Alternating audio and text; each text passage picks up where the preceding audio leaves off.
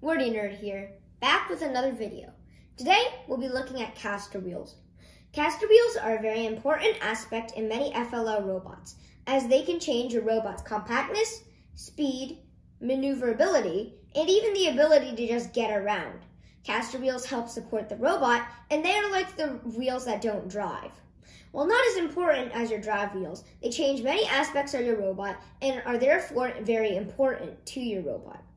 In this video, we will learn about caster wheels, how to pick the best caster wheel for your robot, and the pros and cons of many different types of caster wheels.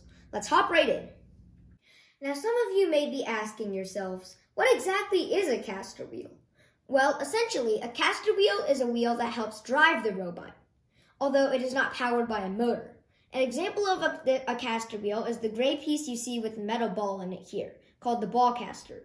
This is a very good caster wheel to use in FLL. A caster wheel should be compact, multi-directional, smooth, and easy to use. In this video, we will be covering some good caster wheels for your robot and all FLL robots. The first type of caster wheel we will be looking at looks like the simplest of the bunch. However, do not be fooled. This is hard to implement into many robots, which is why I don't recommend it. Another reason I do not like this caster wheel is because as you can see, it only has one wheel, making it hard to turn and pivot, especially when you need to have maneuverability in FLL, as well as reliability.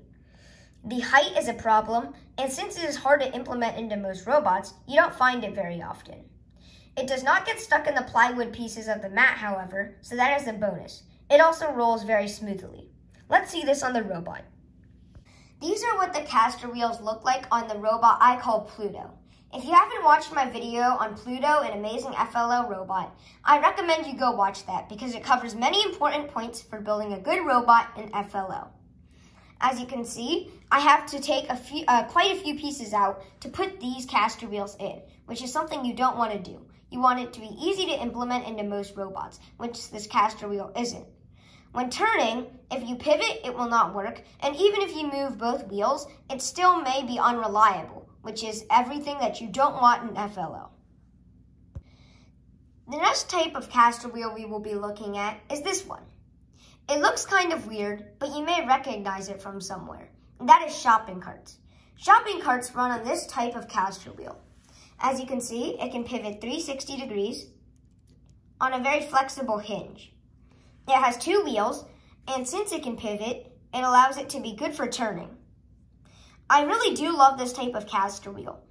The only problem is that the wheels are hard to implement because you can't change the grips and they are rather uncompact. They take up a lot of space because of the need to pivot around. If you have it as, as a setup as small as this, it won't be stable, making it unreliable. It does move in all directions though, and when turning, it is fairly smooth, so I have to give it that. But I feel like there are better caster wheel options out there. This is definitely an improvement from the last type of caster wheel. However, it takes up too much space, so I don't like it. It also doesn't turn as well as some of the other caster wheels because of the time it takes to pivot. Another problem with this wheel is the stability and strength of the mechanism itself. Since you can't have that many points attached to the robot because you need to have it to pivot, it is very unstable and not very strong. You need to have it strong and you will get judging points off for this, which is highly likely. This can also make your robot more unreliable because of the friction of the plastic against the board, which you do not want. This is another reason why I do not recommend this wheel, although it is definitely an improvement from the last one. This is another type of caster wheel I want to talk about. And really, it isn't even a wheel. As you can see, it is simply an L piece mounted on a stick. I have seen this in competition, however. I have seen it in many different shapes and forms. Not always an L piece, but something else. It usually has a long slide kind of area, which allows it to balance on the board. This really isn't even a wheel. It is really non-directional because it creates friction in almost every direction but forward and backward. This makes it hard to turn. Although it e is easy to implement into most robots, it really isn't ideal. It gets stuck in the plywood pieces between the mat and it makes it hard to climb obstacles.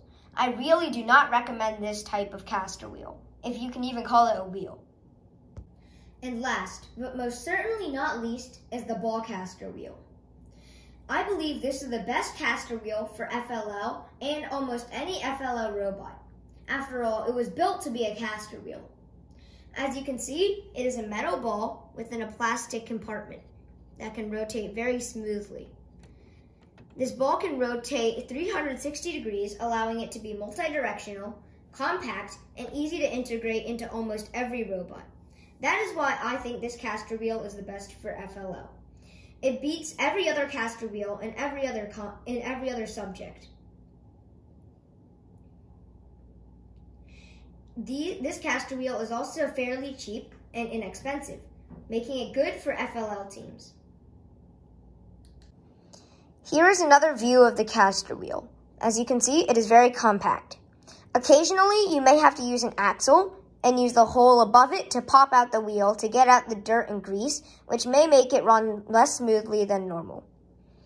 Reliability is everything in FLL, and this allows for great reliability it, because it runs smoothly and is compact, easy to integrate into most robots.